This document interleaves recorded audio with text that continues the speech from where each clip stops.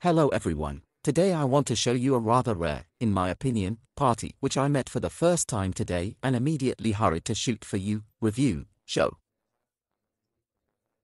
This is not a game of some super grandmasters, but it is very interesting with its combinations, its mistakes, its variants and it started with the move e4, c5, black and white answer here, f4 play. This is a Grand Prix attack. Such a debut, such an answer exists. This is a theoretical move. d6 play black, the position is absolutely equal. The knight is 3, the knight is 6, the bishop is 4, and here black should have played e6. White's bishop from the field c4 should be blunted, we should try to make sure that he does not have access to point f7, because this is very important. Then you will understand what I'm talking about. But black has played e5 here and already white has a little better, but the position still seems to me to be humanly equal.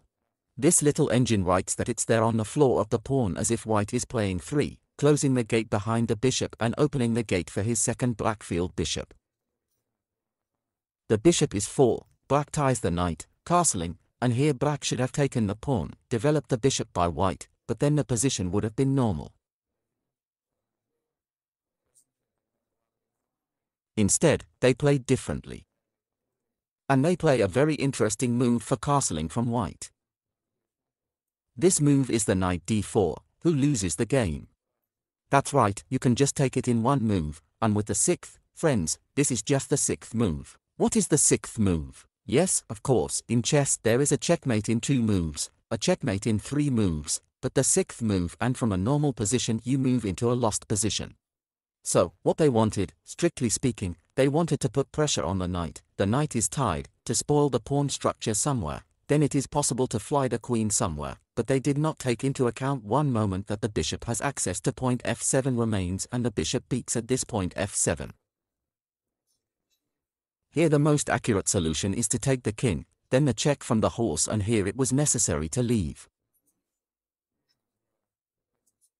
In this case, the blacks did not even go to this option, but I will show you. Here you look as if white's queen is knocked down and you can also take the knight for two light pieces, but this should also be taken into account that after taking the rook pawn and an easy figure is lost in a hidden step, as a result you are without a queen and a pawn for a knight.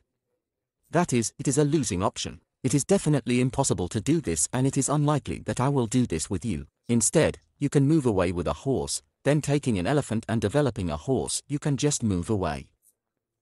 This is the position that white has an extra pawn.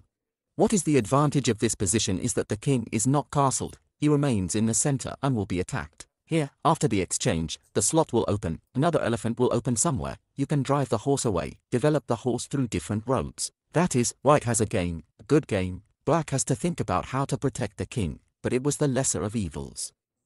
Instead, black did not take it, they went as king to the e7 field. Then the capture of the pawn, then the capture of the bishop and check here.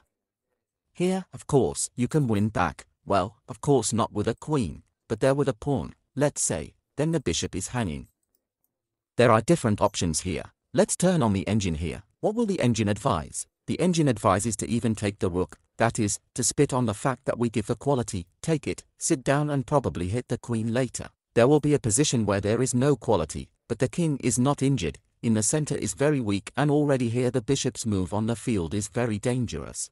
Here it is necessary, but either to leave as a king, or to close with a horse on the engine. But this is absolutely logical, because they want to fool you in every sense of the word, both literally and figuratively. Such a thing is a chess skew. Instead, the blacks went for a walk. They took friends here and there was a move with a check. The whites gave a check, they immediately shamed. The king is gone and white pushes the pawn.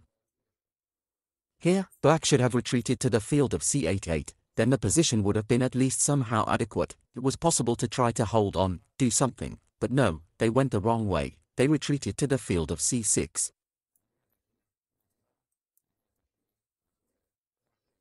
The queen is breaking through, and the white queen cannot be taken. And what will happen if you take it?